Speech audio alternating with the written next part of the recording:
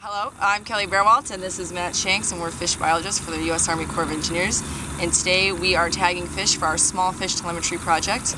Uh, we are tagging non-Asian carp species to release above and below the aquatic nuisance species barrier.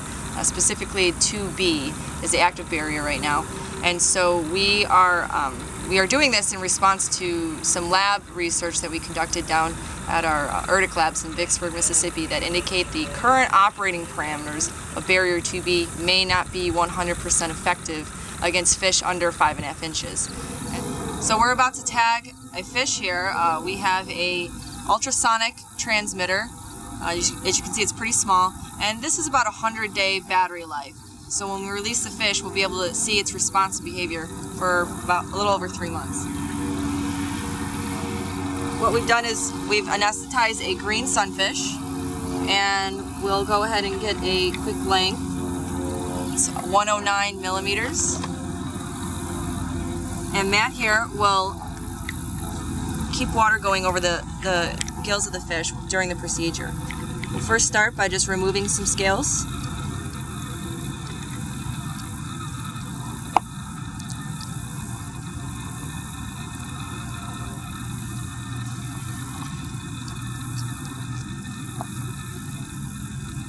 We'll go ahead and make an incision.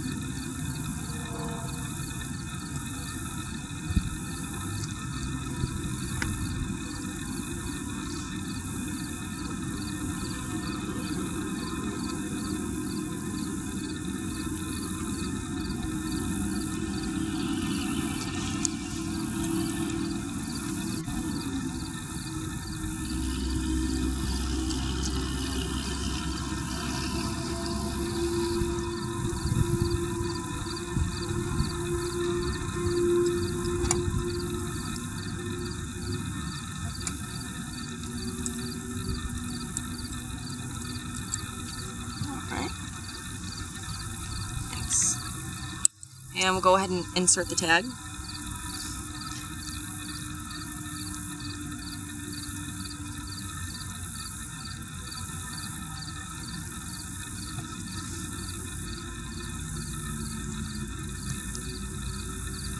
And now we'll go ahead and close the wound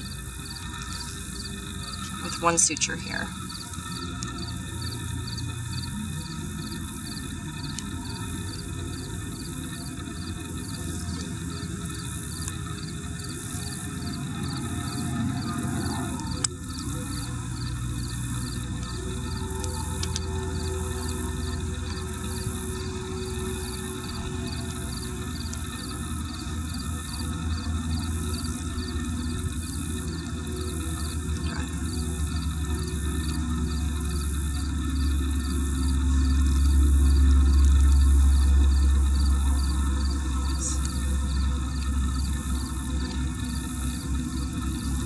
Right.